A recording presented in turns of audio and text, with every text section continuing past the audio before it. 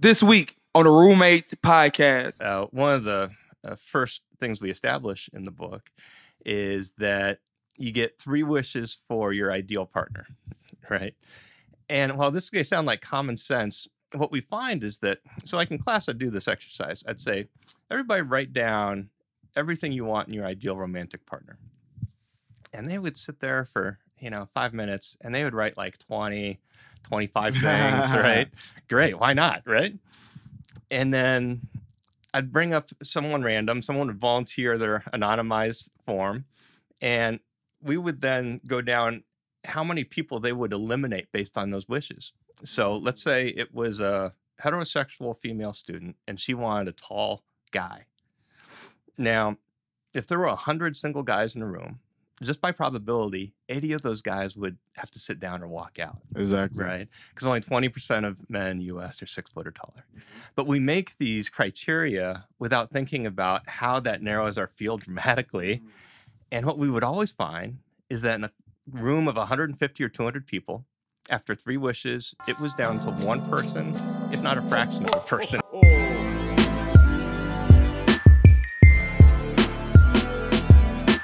Yo, what's good, everybody? This is Hafeez from the Roommates Podcast, and I am in the lovely New York City. Another fun fact about me: I was actually born in New York City, Staten Island, Staten Island, New York. That is, and this week's episode is a, a treat.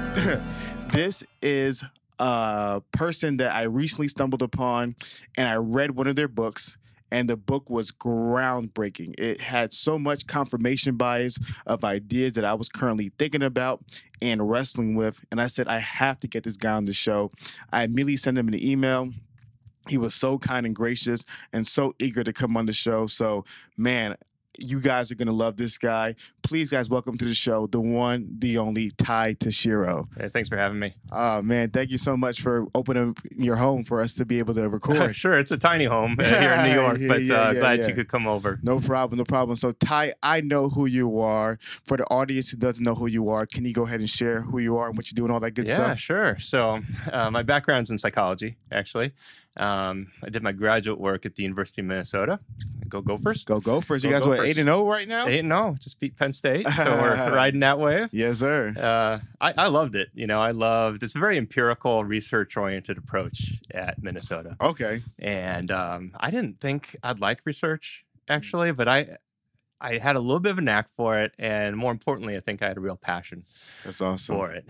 And um, the study of romantic relationships is pretty recent, actually. It was just in the late 1950s, early 1960s when people started looking into this. And I was lucky because one of the professors there, Ellen Berscheid, was one of the first two people to ever apply the scientific method to romantic relationships. Oh wow. Yeah. And it was such this radical idea that she was actually hauled before the Senate to defend Oh really? her work. Um, and some people thought it was almost like this sacrilegious thing to Mm. apply something methodical and scientific to something they saw as spiritual or uh, unable to be known Mm. and maybe didn't want to be known. Yeah. Uh, but now we know quite a bit about romantic relationships and uh, some of the reasons why we struggle in them, uh, some of the good things we can do to make them work better. And so I guess I was teaching a class at the University of Maryland uh, for undergraduates. They're great, about 150, 200 of them. And we'd go through all the data and the studies, and they would have these questions about, they're like, yeah, that's nice, but I got this question about this girl. you know? yeah. Yeah. Yeah. or "Ah, I just got dumped, and you know, they kind of thinly veil it. And uh, so I got this friend who, Yeah. Yeah. Yeah. Yeah. and uh, you know, sometimes I'd ride the metro home, and I'd just be kicking myself uh, because I'd think, oh, there, there was a better answer to that. There was actually research that was really relevant to that student's question, and I didn't come up with it in the moment. Now it was nice because I was able to go back the next time and say, hey, uh, this is actually how this thing ties in. I thought there's this wealth of information um, that could help people understand some of the things that seem unknowable in romantic relationships and could also just help them use their own inner wisdom to guide themselves down a better path. And that's why I decided to write the book, The Science of Happily Ever After, uh, which was my first book. And then uh, I just kind of stayed on that author path, uh, speaking path and all of that. And I've I've enjoyed being able to share things like the science of romantic relationships, and the second book I did was on the science of social awkwardness. so if we have some awkward romantic scenarios, we can talk about those too. Um, but yeah, that's kind of what I'm doing these days and how I got into it. All right, that's that's great. I think that's so important to be able to focus on the romantic relationship, especially for young adults who struggle with it so much. So, for the people who don't know about your book, The Science of Happily After Ever After, can you tell the people why you decided to write that book and what that book is basically about? Yeah, sure. Um, well, well, part of it was I thought someone must have written this book already, right? And I kind of look. There's a lot of great books out there, but some of the books tend to be about, um, hey, I had this relationship. It lasted for 40 years. You should do it my way. You know, Mm, and that's a value. anecdotal experiences. Sure. Um, but if your uh, life experience doesn't fit that person's, uh, or if your goals don't fit that person's, then that's a little bit of a mismatch. Uh, there were some things about almost how to be manipulative, like how to lock Pickup somebody down. community, stuff like that. Yes, e- exactly. Like Neil Strauss, the game books along those lines. Right. There's both uh, male and female Yep. versions of these kinds the of books. The female version of it the most popular one that i've read was um something about ah, i forgot it's a really popular book but all i know is that, that somewhere bitches are in the title Yeah, Yeah. yeah.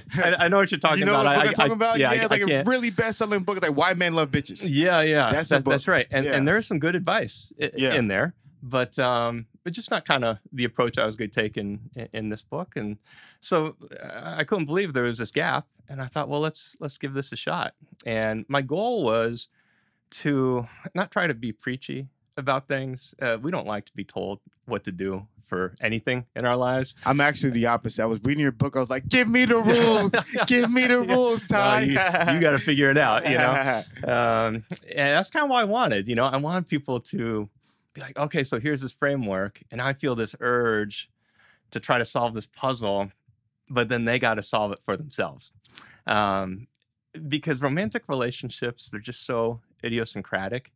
Uh, as my old advisor uh, liked to used to say, uh, the problem with romantic love is it takes two people to make it work and only one person to make it not work. Right? Mm. and I found that a lot of times when things aren't working well in a relationship, that's actually a pretty good answer a lot of times. But that also gets to this idea that there's so much complexity. You have two complex human beings from different backgrounds with oftentimes different goals and attitudes trying to join together into this seamless relationship.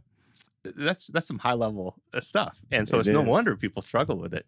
That's a really good point. We had um, one of our friends' name is Taylor Rooks. He's a really popular sports reporter for Bleacher Report. Shout out Taylor. and uh, Taylor Rooks, she was just talking about how she said to get somebody to feel a certain way about you, and then you to also feel that way back to that person is so rare, Oh yeah. you know. And she was just saying that why do we not cultivate that more? Why do we not value that more? Why do we not look into that more? And your point about in the book is that for so many years, this field was kind of looked down upon. Like it was the like, oh, this is not real science, you know, let's make some rockets or go Yeah. to the moon or let's go to Mars. You know, that's Sure. the real science.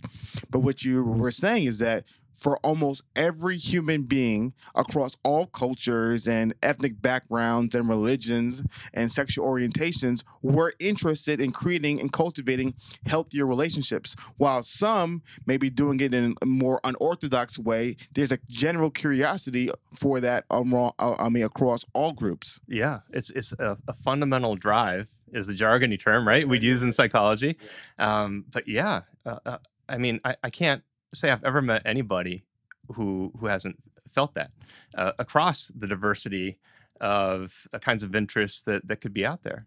And so, even if someone were to not be interested, they'd probably be interested in why they're not interested. Exactly, Right? exactly. um, like there's certain things in life where nobody really gives you the handbook and you, you think i think everybody else got this handbook and, and i didn't get it um, but but none of us got it and so i think anything we can do as social scientists to say hey your taxpayer dollars have, have been spent uh, to fund research that helps us describe what seems indescribable uh, helps us organize things that seem really chaotic and, and might even help you uh, predict some good things in life that you want or, or avoid things that, that would be bad for you. I, I think there's this imperative for us to share that science in a way that's that's user friendly, um, that uses stories and personal narrative to try to engage people. Uh, and I think that's what I, I really enjoyed about, I, I guess, both of the books was this challenge of how do you take this enormous body of research and, and some of it a little bit esoteric and out there, you know?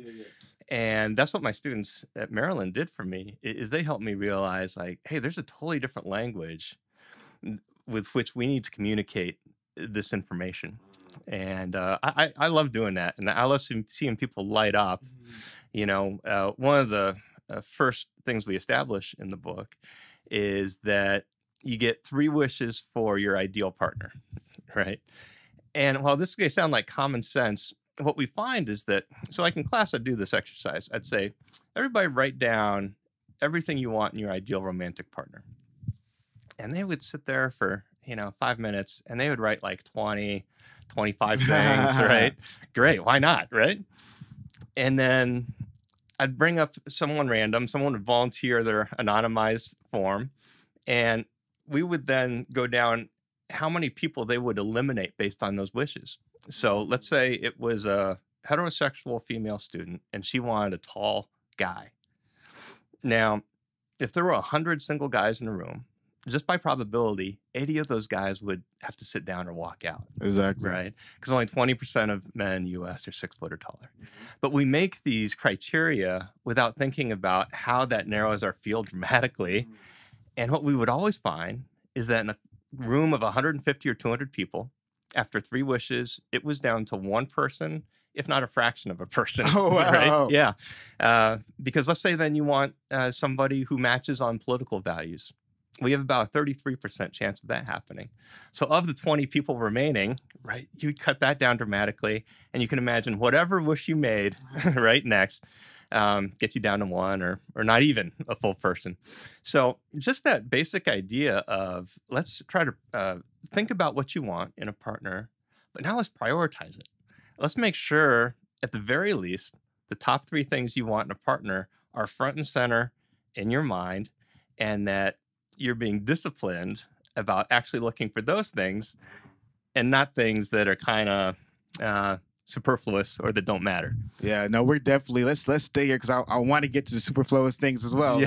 Those are my favorite. yeah, well, for, for, for all of us, those are our favorite. but uh but one of the points that i loved i just like i said so much confirmation bias because you know great minds think alike. And a lot of times me and my friend francis would always talk about these ideas and converse about them and then to be able to see not just you share these ideas but what i love so much about your book the science of happily ever after make sure you guys buy it if you haven't bought it already is that you probably to me are like the leading expert when it comes to the objective data. Mm-hmm. And so one of the points that we were bringing up is that for a lot of people their beliefs are based upon anecdotal experiences or media exposure. Mhm. And we talked about the importance of being able to get objective data to be able to back up your beliefs because you can if you if you're not you end up believing a lie that can negatively affect your life. So one of the points I love so much about the book was when you talked about those three wishes. Because for most people they're taught, oh, create a long laundry list of individuals and then, you know, just either pray about it or, you know, ask the universe and you know what if it's meant to be, it's meant to be. yeah, right? yeah, it's gonna yeah, happen for you. sure, Yeah, And for most people, as you argue in the book, you know, they don't have that. Yeah. You know, they never find that person. And one of the points was how they don't understand how some of your standards affect your probability, which the first thing that you brought up was about height. Yeah. And where some people said, I want a guy who's six foot two or taller.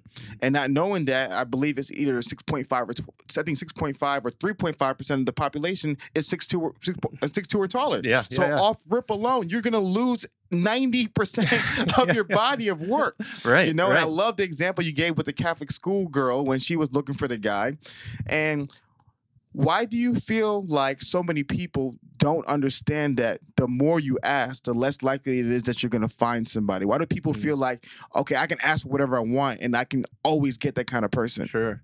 Well, you know, one of the things I'm wondering is if we're a little more prone to it now. Just because, you know, back back when it, it was pretty rural, right? And so, like, uh, my mom grew up in a small town outside Ithaca, New York. Here, I think she went to. She said she had four or five guys she could have gone to the homecoming dance with. right? Uh, That's a pretty different kind of scenario, and so now you have to be pretty thoughtful, right? Uh, we're very uh, urban now. We're surrounded by. We're gonna walk down the street. We're gonna be surrounded by thousands of people.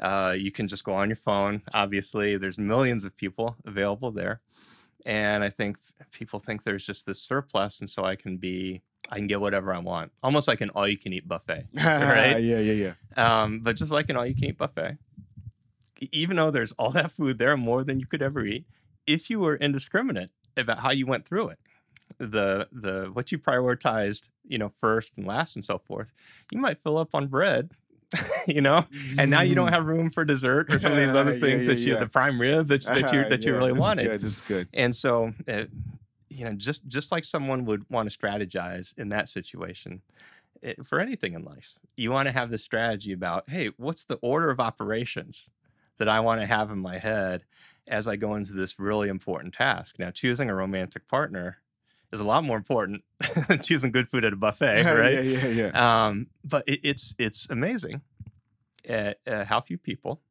including myself, until I kind of caught wind of this stuff, had ever thought about, well, how would I rank order this list in a top three or even a top ten? Now, the the good news is, is I was being hard on people when I said you get three wishes. You probably can get more than that, right? Yeah, yeah. Um, but you definitely want those top three clear. What I tell people is, uh, we'll get, get get a top ten laid out. Uh, make sure you get the top three things that you want. Uh, and what people realize is they're like, boy, I've had these criteria that just I don't even care about. But maybe I had maybe the culture told me I should care about these things Mm, that's good. right? Or maybe I had some teenage remnants of Yeah, uh, yeah. from my pop magazine or something, you know, that I wanted. Yeah. And they're like, "Gosh, that's that's really not important." You know, I had someone tell me. she said I was always trying to date tall guys, and I realized I was dating a bunch of tall jerks. You know? And maybe I should flip that on its head, you know, Mm-hmm. and that maybe the most important thing is I need to look for somebody who's nice, somebody who's considerate. And while that sounds like common sense in hindsight, how many of us or we have friends who are in situations that are not good, Mhm. they have not prioritized well. And uh, and part of it's just that they they didn't think it through before they got into it. No, that's really good. And one of the things I want to jump to next is some of the histories of pair, the history of pair bonding and the history of marriage, in which you talk about in the book. And one of the things that you talked about was we went from you know purpose-driven relationships to now romantic-driven relationships. And can you explain to the people some of the differences between those two the, of the purpose-driven relationships of the past compared to what we idolize and fantasize about the romantic relationships of the present? Yeah, it, it's it's interesting. Uh, historians have this really kind of cold perspective on romantic love, um, but th- th- you can almost see them squinting and being like, you know, why are people marrying for love? you know, um, and that might sound strange to to us in modern day, but you know, for the unbel- marriage is about five thousand years old. For ninety nine percent of that time, people married for pragmatic reasons. Uh, it was sometimes economic, you know, oftentimes for childbearing uh, and protecting those children to uh, be raised to a reproductive age of their own. Uh, you know, it's easy to forget that for most of human history, we're in small hunter gatherer groups. Uh, a lot of people died during childbirth or, or died as, as infants. And it was a real battle just to struggle to one, stay alive yourself, two, to have enough kids that would reach a reproductive age and, and not die of some malady. But around the late 1800s, uh, mid 1800s to late 1800s, there were a lot of great innovations uh, thanks to science that happened. Things like better sanitation, uh, just washing your hands, for example, um, taking care of water and, and purifying that. And so people start to live a lot longer. And now all of a sudden, there wasn't as much risk, and people started to have more wealth. And you didn't have to worry about your kid getting attacked by a wildebeest or whatever. Uh, things got a lot more safe. And that's about the same time that the romantic era sprouted up. And people might think about romantic era music or romantic era painting, and it's around that same time. And the value at that time was strongly felt emotion and, and passion. And what happened is romantic love uh, became this moral imperative. So, whereas before it was just nice, if you're like, okay, uh, you know, my, my parents uh, sold these cows and now we're I'm partnered with this person for the rest of my life. I hope I like them. Uh, now it became it's a moral imperative for me to be in passionate love with this person that I'm going to marry and for that to endure. And and that's a pretty tall that's a pretty tall task. No, that's really good. I remember there was a study that was done in 1960s, and I, th- I believe you quoted in the book. If not, I've read it in another article where it said that in 1960 they asked a group of women um, if they if there was a man who had all the qualities in a husband, but they didn't feel any romantic love for them, would they marry them? And 95% of women said yes now you ask a woman, group of women today that same question. You have a uh, man who has all the qualities in a husband, but you had no romantic love for him. Would you marry them? And now 99 would say no. Yeah. and so, like you right. said, we see that this romantic love feeling is such a huge, it's, just, it's the biggest component it is. for everybody. It's the thing. Yeah. Yes. And this is where people may not like some of the conclusions, but for every single sociologist, expert in this field has always told me that romantic feeling goes away. Mm-hmm. Mm-hmm. But most people don't believe that, mm. and most people still chase that. Yeah. Why? Well, uh, you know, sometimes people say, you know, I, I, should clarify, I guess, that when we say that romantic love goes away, we're talking about that passionate love. So that butterfly in the stomach, heart pounding, cell phone text checking kind of romantic love, right? Yeah, yeah, yeah. Um, that that fades, and and I think rationally everybody knows that, right? It doesn't mean that you lose love for the person; it's just going to change. Um, but to the question of why is that passionate love uh, fade or diminish a bit? You know, people say, why does it have to go away? I say, well, because you would die. you know, like uh, pounding heart's another word for high blood pressure and those butterflies in your stomach leave this hormonal trail that would eventually burn an ulcer in your stomach, right? This is really high activated physiological state, which is awesome and wonderful. I think people should experience it for as long as they can. Um, but it's just unrealistic that you could sustain that. And we also just have things to take care of in life, right? Yeah. Um, besides seeing if so and so texted us, but um, yeah, you know, it's just it, it, The purpose of that evolutionarily, the, the thought is, is what better way to get two people to get together and mate, right? Mm. And let's say that lasts for two or three years. Well, now you've gotten a kid to a somewhat functional stage yeah. by that point. That's a pretty cold way to look at it. Um, but, you know, that's where you get to the transition. So there are couples that make it to 50, 60 years of marriage and they've been happy for the large majority of those years. And a lot of times, I think uh, younger people almost have this, you know, kind of fascination or envy about that, where they're like, these these two old timers just seem to like hanging out. Mm. you know what I mean? And it doesn't have to be that they're doing something extravagant or crazy.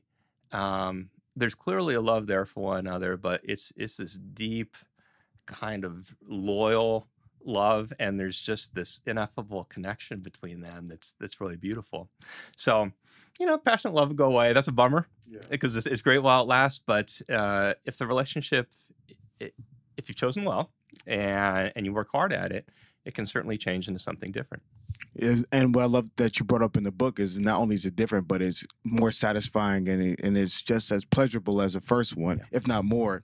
And the point that I see is for a lot of people because passionate love is such an important criteria. Um, the moment that it goes away, because they're under the impression that's supposed to be there forever, that's when they end the relationship. Yeah. And that's when they divorce. Yeah. And what you've noticed is that I would argue that before a no fault divorce, when you hit that, you know, wall of that passion love going away because it wasn't as easy to leave, you were then forced to take this journey to the second phase Yeah. Yeah. if you've chosen well correctly. Sure. yeah. Yeah. to Yeah. true love. And nowadays, most people don't want to work. Yeah. They just want to find somebody who's the perfect match and then live happily ever after. Yeah. And like you brought up, like that's Hollywood. You know, that's Right. that those are new ideas, but for couples who are happily satisfied, that's not their story. Exactly. You know, and uh, I'm glad you bring up the fairy tales. I mean, it, it was really interesting. I thought, well, what are the first stories were read as kids? And the first stories were read are fairy tales. And we all know how those go. Uh, and they're great. You know, I love a good fairy tale myself. um, but it always ends with uh, two people are brought magically together, and um, fate intervenes, and they live happily ever after, and that's the end of the story.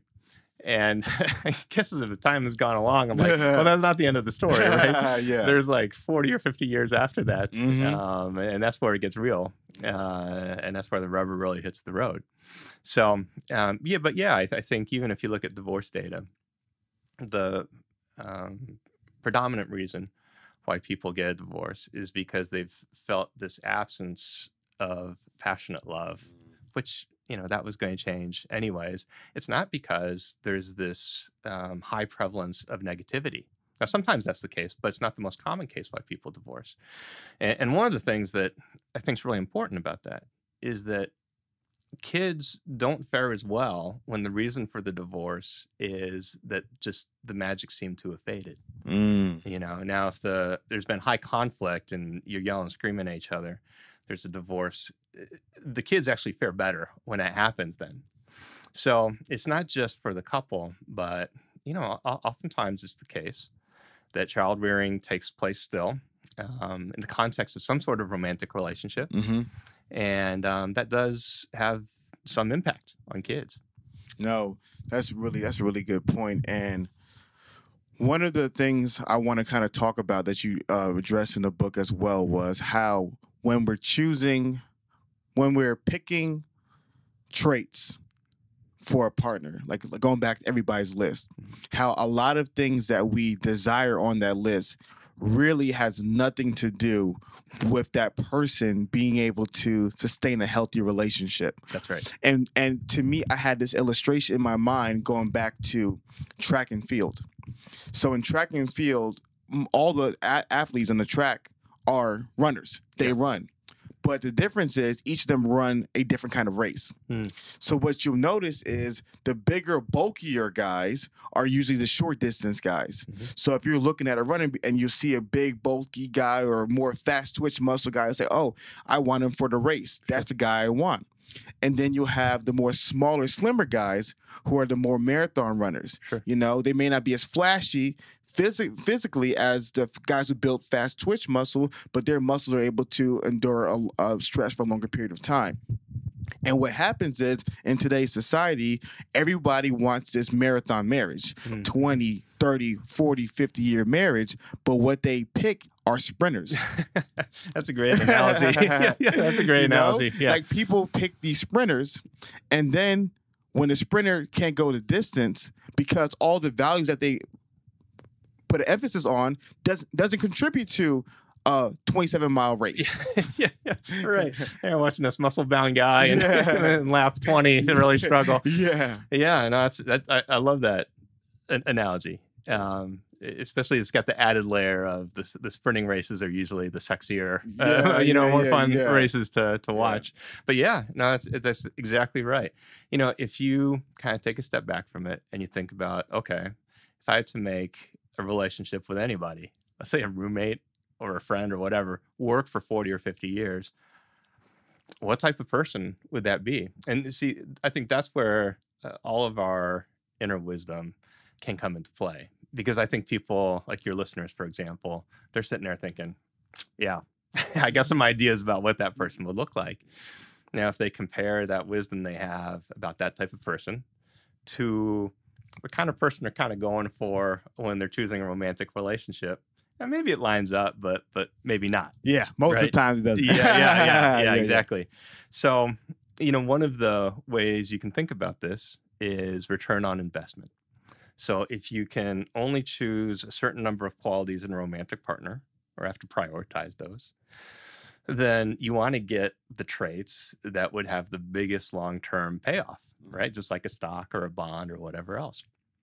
Now, the things that we tend to prioritize have a really poor return on investment. So, one of the things they find is this is if they do a study and they just ask what do you want in a romantic partner so kind of like i did with my students um, the things that are at the top are usually things like i want someone with good values or i want someone who's kind or you know um, All the PC stuff. all the pc stuff essentially right Yeah, yeah, because that's what you're supposed to say Yeah, yeah, right yeah. um, but when you watch what people actually do, so they have studies like speed dating studies, or, or now with online dating, they have they have rich data there too.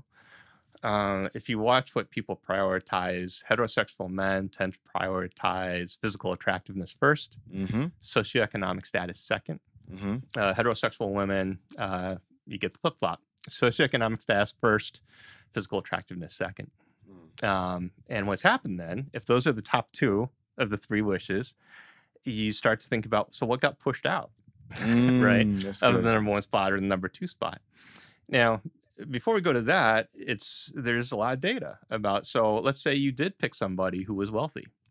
Does that pay off in relationship happiness or satisfaction? And does that pay off in a long, durable relationship that's going to last? And the answer is no. So uh, if you get a bit above the poverty line, about $8,000, $10,000 past the poverty line, that's protective. Uh, that, that's good just because being below that uh, amount of income is stressful, right? But once you pass that, it's a real point of diminishing return. So I kind of like to tell people the difference between a partner who makes seventy thousand dollars and one who makes seven hundred thousand dollars is is pretty negligible. You know, you're not getting much past past that point. And that's really fascinating because for a lot of women, like you point out, they prioritize that so much. Mhm. Like they say he has to make this amount of money. And what you're saying is that it actually has no correlation to your personal happiness. No. Yeah, it- you know, it, it, it just kind of balances out because let's let's say the person makes a lot of money, that comes with its own problems, Mm-hmm. right? How much time they'll be able to spend with you, how much time they'll be able to spend it with the children. You know, are they going to put their career first? All types of things that could be a factor. Yeah, yeah, exactly. You know, so um, you know, De- Deon Cole's got a great, great thing about keys. You know, and he's like, you want a guy who's got more than one key because that means you only got one key for one thing, right? Um, but you don't want a guy with too many keys, you know, because then he's going to be opening doors for other people, right? yeah, yeah. and uh, I think there's some there's some truth to that. So, while there's nothing wrong with making a lot of money, um, you shouldn't be pushing people out or, or ruling them out because they're not dripping with wealth, right? Yeah, yeah, yeah. Um, but the same thing goes for looks. So looks has no impact on your long-term satisfaction or your long-term. That's the hardest thing for my listener. I see all my guys right now just dying on the computer. I feel like for so many guys, even me reading that chapter of the book, it was like, it was so hard. Yeah, yeah, it's hard for me. You know? yeah, I mean, you, you know, I like to say y- you don't want to feel like kissing your partner is like eating your veggies, yeah, yeah, right? yeah, yeah, yeah. So um, you want a certain level of attraction there. Um, but to put a little more nuance uh, on it, I guess oh, what happens is we try to maximize looks. So we're Mm, like, we're trying to get the hottest person possible yeah. for, you know, based on where we are Yeah. for looks or what, we, um, based on our market value, as they would say, yeah, right? Yeah, yeah. And it's like, well, th- that extra point or two you're getting in looks, it's, it's just not going to make that big of a difference. Yeah. A- And as as incongruent as that is for me to wrap my head around, still, it's like no. But hey, if you were attracted to somebody versus like, okay, I'm, I'm really physically attracted to this person, Mhm. it's, it's not going to make a huge difference Yeah. probably when you add in everything else Exactly. right?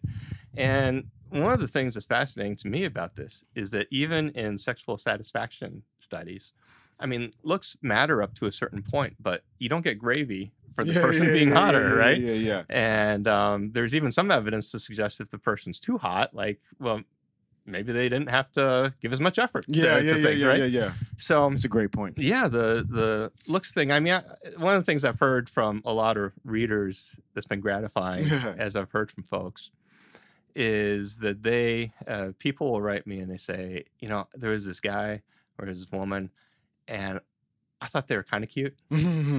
And then I got to know them, and that's when they really got attractive to me, yeah.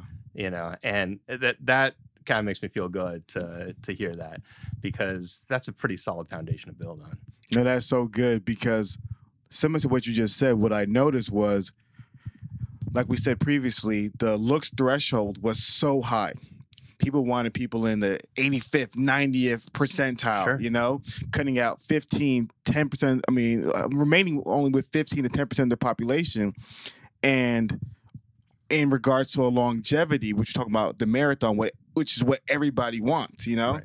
Like that has no correlation between satisfaction. Yeah. So you end up pushing out so many people Mm-hmm. For that reason, Absolutely. you know? Oh, And so many amazing quality people who would really make you really happy. Yeah. You neglect it because you have some um idealized standard that really would never make you happy at the end of the day. Sure. Yeah, yeah. When all these other things matter a lot more, right? And you've had to work really hard. Yeah, yeah, because, yeah. because if you thought they were attractive, everybody else thought they were attractive Yeah. too.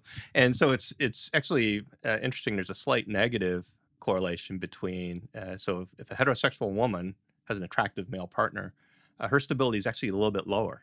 Yeah, I remember that part in the book. I, Yeah. love, I, I love that part. You know, and, and people are like, oh, so why is why is that the case? And it's like, well, that, that dude's attractive to other people too, right? Yeah, yeah, yeah. And uh, we're in a culture where uh, cheating is one of those things that Yeah. can be a one-shot deal, and, Yeah. and and things are done. So, look, if you have a someone out there has an attractive male partner, doesn't mean he's cheating yeah, necessarily. Yeah, yeah, yeah. Um, but yeah, you know, it's it's the looks and money. I, I understand why why people are attracted to that. I could understand why I yeah, would yeah, be yeah, attracted to that. Um, and, and the backdrop to that, to return to our earlier conversation about kind of the evolution of all of Mm-hmm. this, is that you know if you were uh, living in an environment where there wasn't enough food to go around, Mhm. well, it'd be good to prioritize exactly. someone who could provide in that way Mhm. when not everybody could. And now we have a surplus of calories, Exactly. right? We have Yeah. the opposite problem. Uh, with looks, the thought was is uh, looks for an outside indicator of your genetic health. hmm Now, it's not in this environment just because things are a lot safer now. Um, you know, medical care is better. Uh, we get the food we need and all, Mhm, all yeah. of that. But back when, right, when there was a lot more disease and it was it was harder to get uh, the calories you needed just to survive, then having somebody with good, robust genetic health would have been would have been great. But now it doesn't really make sense. I think it's like wisdom teeth Yeah, yeah, yeah. right? It's just this thing we have. It doesn't really do us any good and Yeah. kind of causes a lot of pain. No, my friend um Stephan Speaks a great relationship expert who, you know, I'm on tour with and I'm learning a lot from. He he made this point um in regards to the twofold description that you described. The first one in regards to the money thing. Mm. Male or females, obviously females are leaning towards a money prioritizing thing. And he said if you're a woman and you make $200,000 a year and that is able to take care of your needs, your husband's needs, your children's needs, your family's needs. You'll never have issues with money. Mhm. What is the problem with your husband being a teacher making thirty-five thousand dollars a year? Sure. Absolutely. There's no there's no difference. Like you said before, in a society where women couldn't work, Yeah. or where where you know it was hunter gatherer, and so men were usually you needed a strong male to be able to gather the food. Obviously, for the for your children to live, you want the guy who can provide the most resources to support you. Right. But if you can support yourself and your family, and your man is hardworking but making less than you, Sure.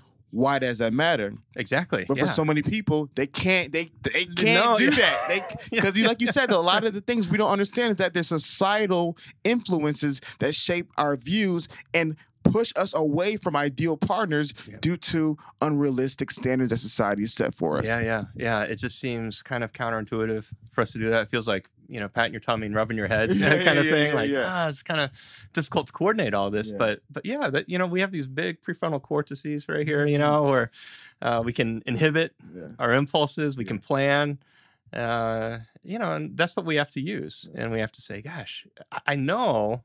Like my wisdom tells me what's the right thing to do it's here, so hard. right? It's yeah, hard. yeah. It's so hard. But then you have to fight this kind of feeling in your gut Yeah. right? That that's kind of telling you something different. Uh, I can tell hard you, it, it is. Yeah. boy, it, it sure is. And sometimes we have to learn the hard way, right? And that's and and that's a point that I realize so many people deal with because I once made a claim that a lot of people in a partner, they would choose the external characteristics over the internal. hmm So if you could choose, I would argue for most people, if you could choose somebody, if you had two choices, somebody who had all the external, Mhm.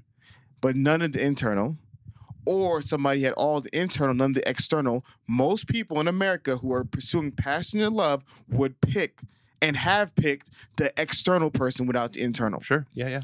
And like you were saying, like, but we get burned by this, but then we keep going back to it.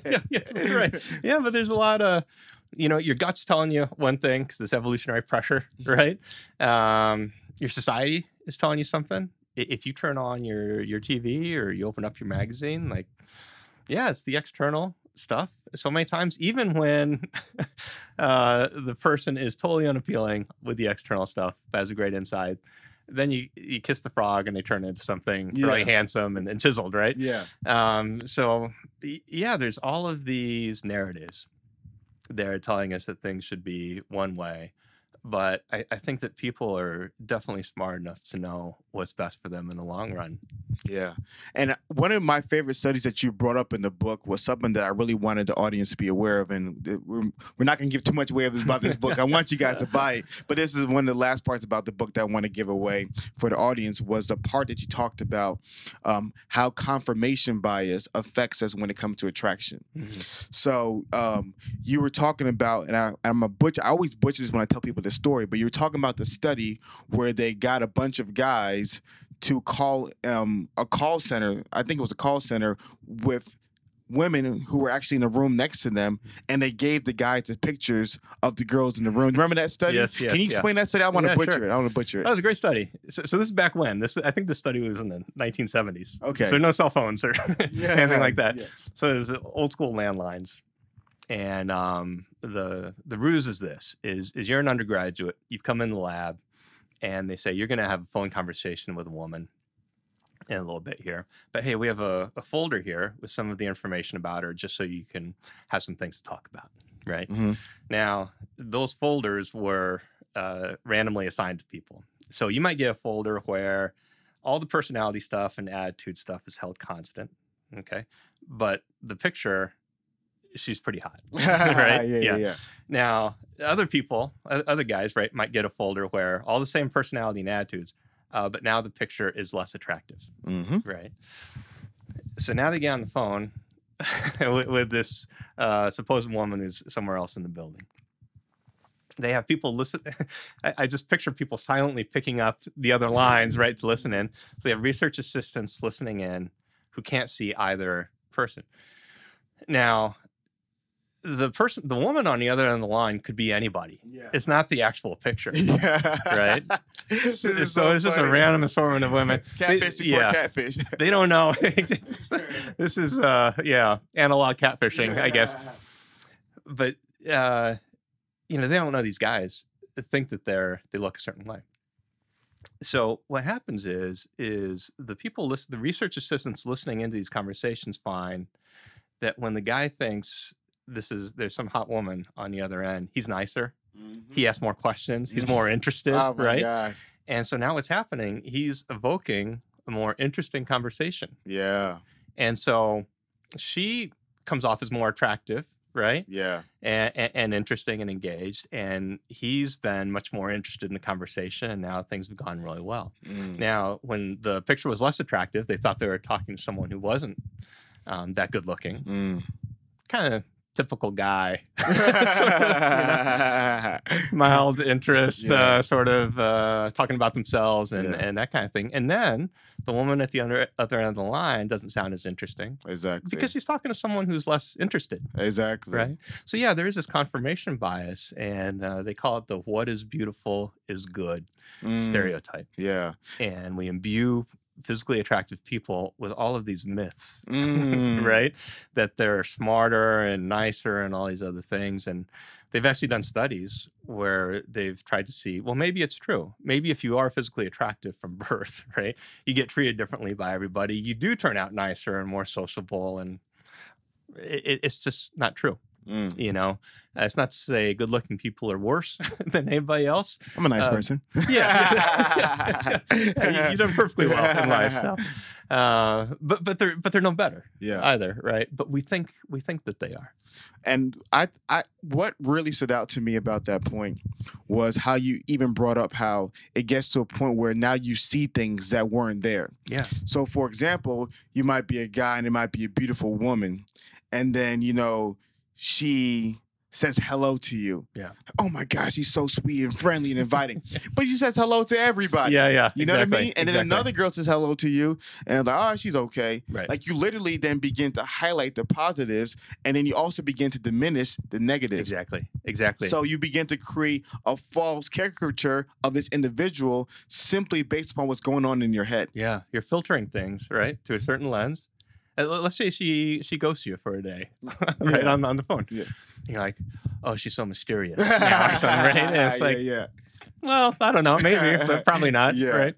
So yeah, it's it's uh, it, once we get that set though in place, uh, this person's attractive, and then they must have all these great characteristics, and we almost try to wish it to be true, Mhm. right? Uh, gets us in a whole heck of a lot of trouble. But sometimes you gotta you gotta mess it up a few- yeah, a few times, yeah, right? Yeah, yeah, yeah. Before you're like, oh man, it uh, that, that can really that can really get me. So Mm. and once again, you know, it's not to vilify yeah. people who are physically attractive. It's just like, hey, they're just like everybody else. Exactly. And that's the point. Is like we're not demonizing anybody or saying anybody's less than because of what you have or what you don't have. Right. It's saying that in reality, which I love you bring up in the book, it goes back to in regards to romantic relationship, the most important component is how the other person treats me. Sure. And that's something that is probably the least thing on the the grand list of things. Yeah. You know, where in reality is that if somebody treats you really well and there is a general threshold where they meet for physical attractiveness and religious beliefs and political beliefs and whatever ideological beliefs you have, the, the, the likelihood of that success is so astronomically higher than simply going for the vanity things that we go for in today's world. That's that's exactly true. So you know, if you look at these um, behavioral studies where they look at what people actually choose, uh, so you get the looks and the uh, money uh, up there in the top top two. Um, but then to go to this earlier point about so what gets kicked out of there, well, one of the things that gets kicked out, if we want to think about personality, for example, is emotional stability. Mm. So uh, the opposite of that is neuroticism. Yep. or being real moody and kind of angry and uh, no surprise, right? Our common sense tells us this that if someone's pretty neurotic, that makes for tough tough going Yep. in a long term relationship. Mm-hmm. Um, you know, they tend to be pretty reactive, pretty uneven, and you're you're getting if you're neurotic, you're not enjoying things as much. Uh, if you're with someone who's neurotic, you're not enjoying things as much, right? Yeah. Um, and so it's strongly associated with less satisfaction and also a higher risk of breaking up or, or divorce. And while that sounds like common sense, that trait drops to between sixth and ninth on the list of Mm. priorities. So people might say, well, that, that makes sense, but it's like, but you're not doing it. Mm-hmm. Right. Yeah. And if we play that game where we project ahead, let's say 20, 30 years, and we say, okay, so you're with somebody now a long time, and you're sitting there having dinner, and something's gone wrong. uh, Do you want someone who's going to overreact to that situation? Yeah. Uh, or do you want someone who's going to be pretty cool about it? Uh, let's say you got kids sitting at the table with you. Uh, Do you want someone who's going to handle that in an even kind of manner, uh, or someone who's going to be, you know, all over the place or, or getting into business? Yeah. And, and the answer is really easy uh, Mhm, to yeah. that. And so, you know, I think it's interesting that we can overvalue looks or overvalue money. And then sometimes what happens is we just accidentally end up marrying that person, right? Like we got on the track with them. Yeah. All of a sudden, it's like four or five years later. Yeah. And what you see people do is they're just like, well, I might as well just lock this down, Mm-hmm. you know? Um, but now they're missing some of these qualities that would really be integral Yeah. to making the long term thing work. Exactly. Going back to that marathon thing, if this person really can't run a marathon, if they're Yeah. not built for it, Oh, sure. it's only a matter of time before they can't run the race anymore Yeah. longer. Yeah. And the point that I think that you would continue to talk about in the book is the problem is so many people are so focused on what's in front of them Mhm. and like whatever their going back to infatuation, right? It, like the idea of this, you know, I you know this perfect partner based upon nothing about who they are, but all about how you temper, how you feel. Yeah. And that's the biggest thing. Going back to the point I want to bring up Mhm. about this about your book was so good was that the, if the romantic feelings are the litmus test for you. Or, or the passionate feelings are the limit test for you to be able to choose a partner is the worst possible thing because that feeling will in due time go away Yeah. and you'll find somebody because there are people who I just think biologically they can they they cultivate that in all people, right? Mhm. There's super beautiful models who will give anybody passionate romance. right. And there's really tall, successful guys will make any woman have those feelings. But those feelings don't mean that person is good for you. Yeah. And that's some of the biggest challenges. And one of the reasons why I love your book is because your book gives the audience and the readers a healthy, reasonable blueprint to find out how to be able to find somebody who's best for you. Yeah, I I- appreciate that. You know, I I think um, the the frameworks are there, right? And I, I think there's a, lot of just common sense people can use. It- It's it doesn't have to be this wild mathematical, you know, esoteric research kind of thing. Although uh, that can be helpful in its own way. Um, but yeah, when you back translate it, and you're like, so okay, so what? So what really matters to you? You know, if you're a young person, eh, think about an older couple you know. You know, maybe it's your grandparents, maybe it's you know some someone in your community uh, who've been together for a long time, and you think about the qualities they have in their relationship, but also as individuals. You know, almost all the time, people come back and say, "Well, they were pretty emotionally stable, right? Um, they're very kind. Like they're just nice people. Like like being a nice guy or nice gal in our culture gets bad rap sometimes. Uh, I'm always fascinated that when someone makes their initial public offering of their partner to the group of friends, right? Uh, that that partner will the, the new partner goes away to the restroom at some point or something, and then your friend says, "So what do you think?" If you say, "You know, I think she's nice," they, they almost seem insulted, right? Yeah, That, yeah, yeah. "Oh, is that it? You know, Yeah, yeah, yeah. um, but in fact, that's one of the best traits that you can get Yeah. in a partner. Uh, gosh, wouldn't it be great to have someone be nice to you for 50 years? Yeah. right? Yeah, that's Um, be nice to your kids for, for 50 years. Uh, there's all these other things that go along with it, for example. So people who are high in agreeableness, kind of this kindness, niceness uh, quality, they also view relationships in a non-zero sum kind of way. So in other words, it's not, hey, I'll do something nice for you, now you do something nice for me, right? Always keeping score. They just give, and they're going to trust that, hey, over time, uh, things are going to be equitable, things are going to work out, and when both partners have that mentality, now you exponentially grow the amount of goodness in the relationship. So you know these these personality traits and these other psychological qualities that are so important. Um, I, I think people can uh, connect with those uh, pretty readily and, and pretty easily, but then they have to balance that out with this cost benefit analysis of these things that do draw us in initially and that are really powerful. No, that's that's that's really good, and that's probably where um, your book took me on a journey because I realized that most of my life, all the women that I really was interested in pursued, it had nothing to do with how they treated me. like it never it never dawned on me like they like they treated me nicely or kindly. It was Yeah. never the draw. The draw was always how she looked or something like that. Like it was always physical Sure. Yeah. and it was like I realized that it wasn't until I met a girl who wasn't everything I wanted physically, which is a typical story for Mhm. everybody. Yeah. it wasn't everything I wanted physically, but emotionally, like you said in the book, was a person who would literally like give and serve and be kind and supportive and values uh, all similar that this girl became like my favorite girl you know of all time Yeah, so sure. i i really really man i'm so thankful for your book um guys if you have not gotten the book. The link is in the description. The science of happily ever after is an exceptional book. It has really transformed my life. I know that's going to transform your life. So ty if there's one message you want to give our audience to in closing what would that message be? Well, uh, I guess we've talked about a few heavy things, you know, here. But after all the research and after all the people I've spoken to over the years, I, you know, I'm a believer, like I'm a hopeful person in the state of romantic love. And when, you see it work, boy, there's just nothing better in life. I I, I think. I agree right? with you 100. percent than seeing something like that happen and and the goodness that that manifest manifests from that outside of even the relationship itself um, i think is a beautiful thing so uh, if people are out there and it's been tough go uh, keep the chin up and, uh, and and be hopeful and, and be optimistic but that the person's out there and you know who that person is i think and if people just have that focus uh, and that honesty with themselves then it gives them a much better chance That's so awesome, Ty. Thank you so much. We're really, really blessed, guys. Make sure you reach out to Ty. Where can they reach out to you at? Well, uh, they go to tytashiro.com uh, if they want, and they can find everything there, uh, including links to Instagram and Twitter and all that good stuff. But uh, yeah, I'd love to hear uh, how people resonate with this and uh, what kinds of things they can use. That's awesome. So, guys, like I said, for the hundredth time, be sure to get Ty's book, The Science of Happily Ever After. The link is in the description below. Ty, thank you so much. It's an honor.